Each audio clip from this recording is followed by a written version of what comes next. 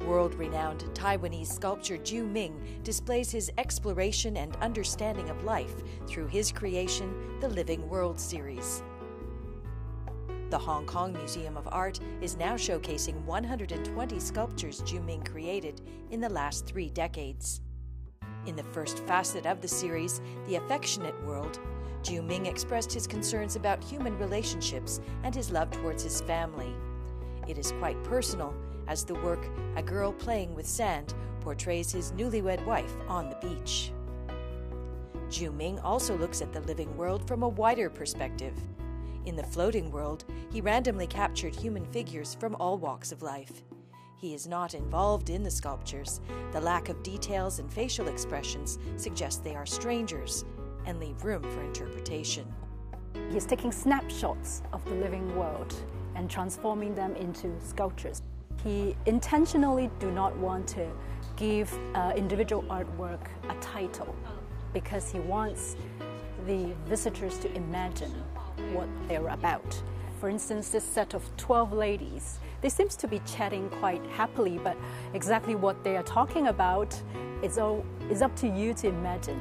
And why is there one particular lady that is not painted? Again, there is a certain room of imagination allowed to the visitor, and uh, there's this space for interaction between the artwork and the visitors.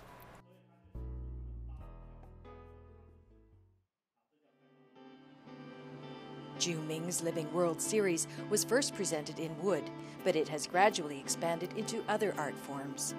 The artist constantly uses new materials to elaborate on the beauty of body movements. He always say material has its own temperament, so each type of, of material is different. It all um, depends on whether you can handle it properly. For the swimmers, he used stainless steel to define the body parts so that it's sort of uh, portrayed how the human body comes out from water and when you're swimming then you probably have suntan lotion on top and your skin would become all shiny. It's really the user material has fully uh, encapsulate that, that feeling of the human skin next to the swimming pool in the piece Ballerina, Ju Ming used hemp cords to wrap and fasten large pieces of sponge. He retained the cords during the copper casting process, so the resulting sculpture combines the two contrasting textures of the sponge and copper.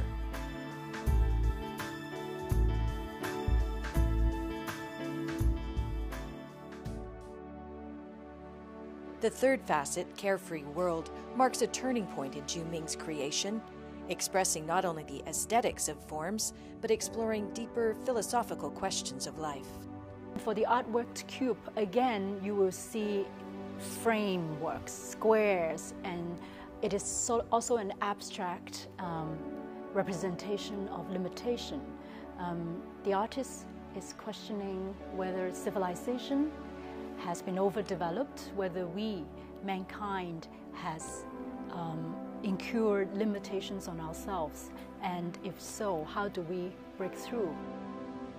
The three piece set of sculptures, Imprisonment, explores the concept of imprisoning and self imprisoning.